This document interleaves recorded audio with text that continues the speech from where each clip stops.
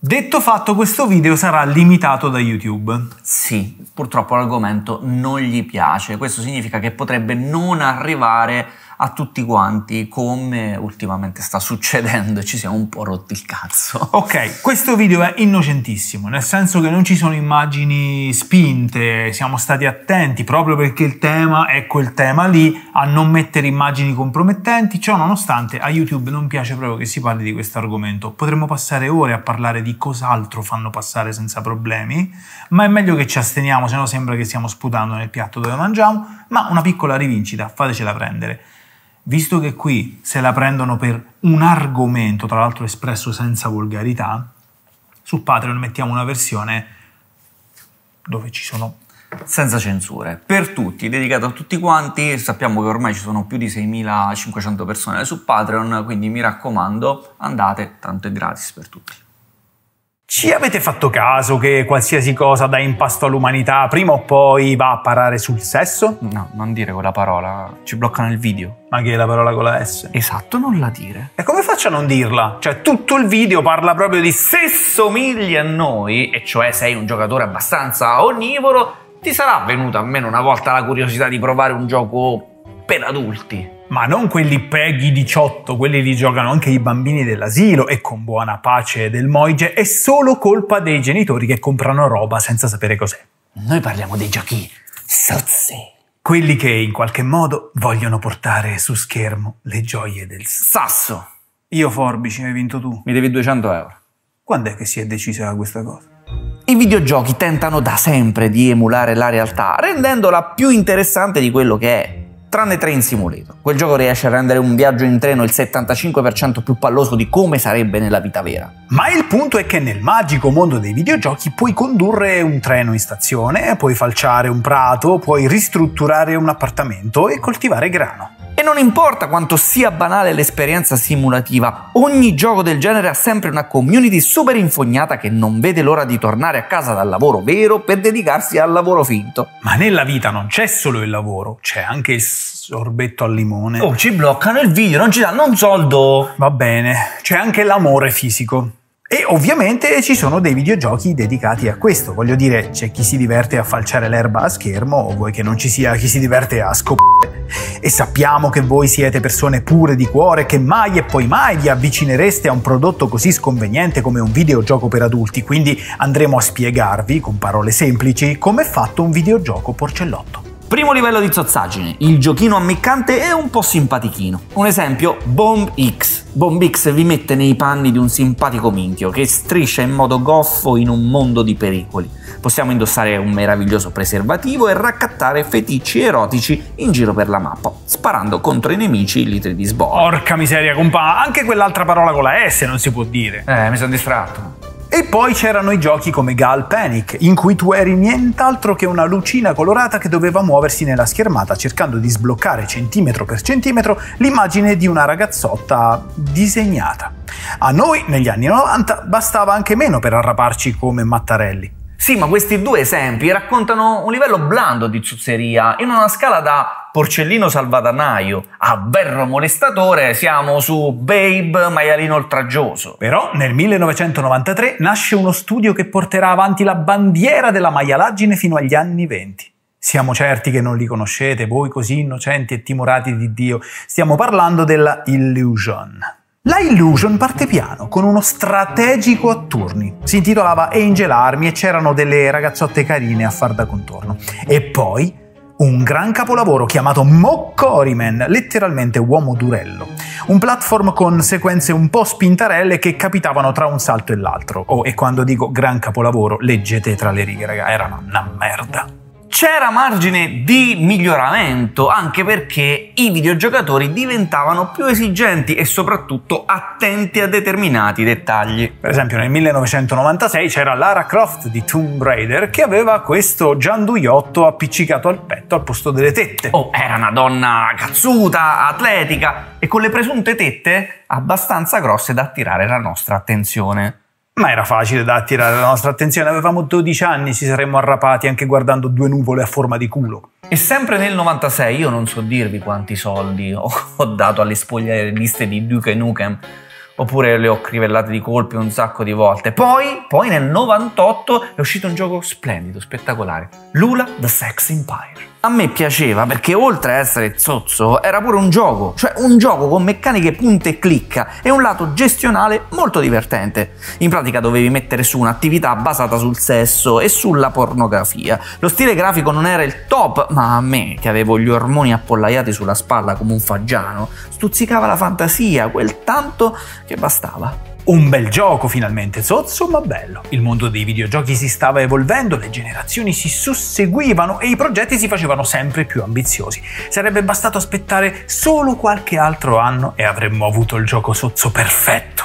Però purtroppo uscì pure Battle Raper, Gioco picchiaduro della Illusion del 2002 in cui, tenetevi forte che non ve lo aspettereste mai, delle belle ragazze se le davano di santa ragione perdendo un capo d'abbigliamento ogni due schiaffi. Da questo si evince una cosa, non importa il genere del gioco, la Illusion fa sempre schifo nel gameplay, ma diventa sempre più brava a fare le ragazze. E qui facciamo una parentesi oscura e inquietante. A un certo punto, questi simpatici giapponesi con in testa la fregna e poco altro, creano la loro cappella Sistina. Rayplay. E lasciamo la linea al TG2. Il gioco comincia alla stazione ferroviaria dove è possibile zoomare sulla ragazza per alzarle la gonna e poi prosegue sul treno dove iniziano le molestie e lo stupro vero e proprio.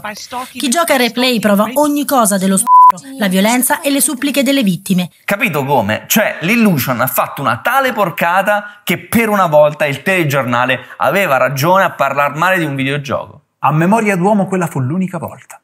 Ma non l'unica volta che la Illusion pisciò fuori dal vaso, perché il tema della molestia loro lo avevano già affrontato con Interact Play VR. Bravi, complimenti. Oh, hai visto che fa NordVPN? Non lo so dove sono le penne. Se uno si abbona, poi gli danno 6 mesi gratis dello stesso piano. Certo che te la do una mano, arrivo. E quei 6 mesi li può regalare a un amico, un familiare, a chi gli pare. No, niente mare, c'ho da fare una cosa. Ma che c'entra il mare? Io parlavo di NordVPN. E la conosco, è una virtual private network che ti tiene al sicuro da connessioni rischiose. E mica solo questo, se vai all'estero per esempio puoi connetterti come se fossi ancora in Italia e usufruire di serie tv, cataloghi che hai soltanto nel tuo paese. Sì, oggi è 15 del mese. Non me l'avevi detto che avevi un gemello siamese. Con il link in descrizione avete diritto a 4 mesi aggiuntivi sul piano che sceglierete e sullo stesso piano i 6 mesi che potete regalare a chi volete voi. Comunque in questo periodo le cose cominciano a cambiare, iniziano ad arrivare giochi che effettivamente di gioco avevano poco, ma avevano un tasso di porcellanza estremo. L'attenzione si sposta quindi dall'esperienza ludica a quella simulativa. Con il crescere della qualità grafica e la possibilità di muoversi in uno spazio tridimensionale, molti giochi, soprattutto giapponesi, provano a fare questa roba un po' controversa, cioè portare a casa degli utenti la Girlfriend Experience. Arrivano quindi i dating sim di stampo moderno, con tanto focus sull'aspetto visivo e dialoghi che addormenterebbero pure un toro strafatto di cocaina. Ma com'è possibile che questa roba funzioni e soprattutto che abbia mercato? No, è una domanda ancora migliore. Come fa ad avere un mercato falcia erba simulator? Cioè, perché io capisco eh, il sogno di falciare l'erba, ma volete mettere il sogno di falciare l'erba e il sogno di stare in mezzo a fare panino tra due ragazze seminude? Io opterei per la seconda opzione, anche perché sei in compagnia. I dating sim si basano spesso sui dialoghi a scelta multipla, scelta che arriva solo dopo ore di dolorosi soliloqui delle ragazze, durante i quali hai tutto il tempo di riflettere sul fatto che forse sarebbe meno complicato corteggiare, conquistare e sposare la tipa che ti piace piuttosto che ascoltare tutte le vaccate che la Akemi di turno ti scarica addosso. Una caratteristica dei moderni dating sim e soprattutto di quelli della Illusion è la personalizzazione. Sì, perché non solo le ragazze sono tutte bellissime, ma possono essere modificate per incontrare i tuoi gusti al 100%. Come la vuoi sta ragazza? Alta, bassa, seno piccolo, seno medio, covoni di fieno, capelli lunghi, corti, colorati, occhi blu, rossi o gialli? E la pupilla? Eh cazzo, non la vuoi una bella pupilla da gatto? Si può fare di tutto e bisogna dire la verità, gli editor spesso sono la parte più divertente e mettersi lì a giocare coi parametri è molto rilassante. L'utente inizia col cazzo in mano e gli occhi iniettati di sangue, ma poi alla fine si ritrova tutto soddisfatto per aver creato la vita. E quindi? Finisce così? I dating sim di ultima generazione sono finalmente il top che si può raggiungere? Ma assolutamente no. Se c'è una cosa che il mondo del gaming aspettava per far sbocciare i giochi zozzi, quella è la realtà virtuale. E devo confessarvi una cosa, io gioco tantissimo con la realtà virtuale e soprattutto all'inizio quando non ero ancora abituato a quel mondo così immersivo, i giochi che mi facevano più effetto erano proprio i dating sim. I dating sim e i giochi in cui sei sott'acqua e a un certo punto arrivano cose enormi dall'oscurità dell'oceano, tipo balene. Ho un problema con queste cose. Eh, quello che intende Mario è che avere un essere umano a pochi centimetri da te in un mondo fittizio che interagisce con te in scala 1 a 1 è parecchio figo. La magia si interrompe quando nel gioco guardi in basso e vedi quello che, secondo gli sviluppatori, dovrebbe essere la tua minchia. E ti ricordi che tu non hai il ciufello pixelato. E ti accorgi che era tutta una menzogna. Vero, però questi giochi vogliono offrire all'uomo, che dico all'uomo, al maschio, un'esperienza ideale, da sogno. Come dici Akemi, paghi tu la cena. Grande cazzo!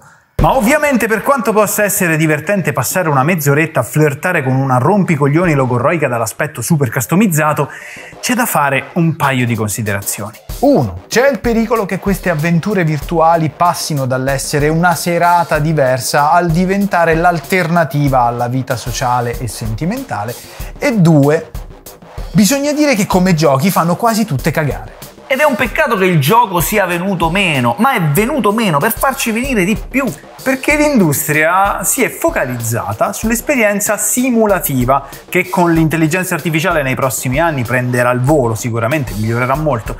Ma manca una roba, questi si sono dimenticati del divertimento, del gameplay. Però non è sempre così. Tu ad esempio su Patreon hai portato dei gameplay in cui si giocava tanto, anche se di fondo il sesso c'era. D'altra parte, la realtà virtuale no, c'è poca ciccia ancora. Molta grafica e poca ciccia. E poi c'è un altro fatto, fatto brutto. La Illusion un anno fa è chiuso. Il sito è chiuso, il download delle patch non è più disponibile e dopo 30 anni di onorata carriera lasciano un vuoto incolmabile nel settore. Eh sì, però voglio dire, erano quelli di replay, non è che siamo qui proprio a disperarci. Ormai le cose più interessanti sono la bella grafica e l'effetto immersivo magari della realtà virtuale. Ed è un peccato perché l'industria del porno ha sempre mosso il mondo e il sesso è un ottimo contenitore. Ed è uno spreco vedere che la parte più coinvolgente di questi giochi, di questi prodotti, sia l'editor dei personaggi.